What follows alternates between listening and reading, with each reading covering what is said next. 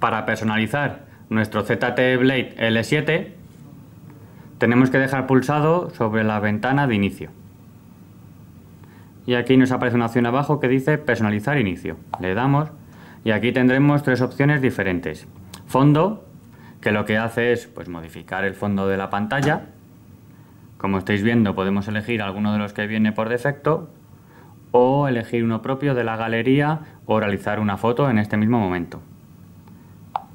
También podemos cambiar la apariencia de los iconos, si nos gustan más redondeados, más cuadrados, etc.